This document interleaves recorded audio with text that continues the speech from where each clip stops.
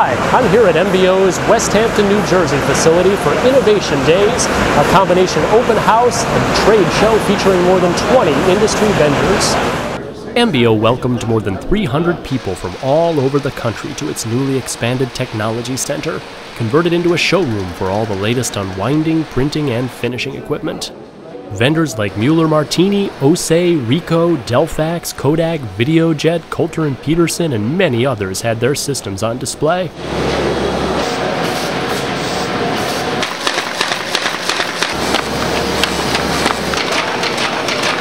The event was a perfect opportunity for printing and bindery managers to see this equipment in action and ask questions.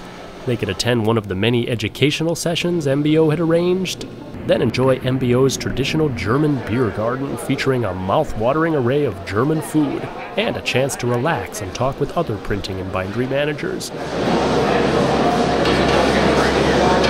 We brought together several of our partners in the industry to show our customers just what you can accomplish. Behind me, we're taking a blank roll of paper and we're creating a perfect bound book from that roll of paper. And as you can see, the system is running with virtually no assistance from anyone. Indeed, once the paper rolled out of the Delphax CR2200, it traveled right into an Arret SVC 520C sheeter and was then folded on an MBO digifolder.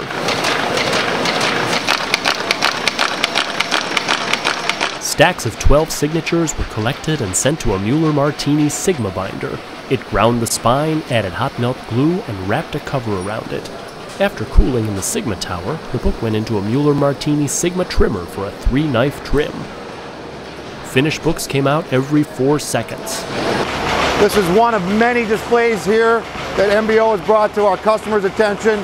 We've invited our customers here so they can see what's possible here in the markets and what their equipment can accomplish in today's industry.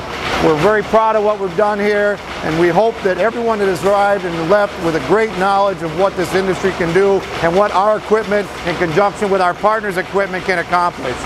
We hope you can be here next year when we do it again.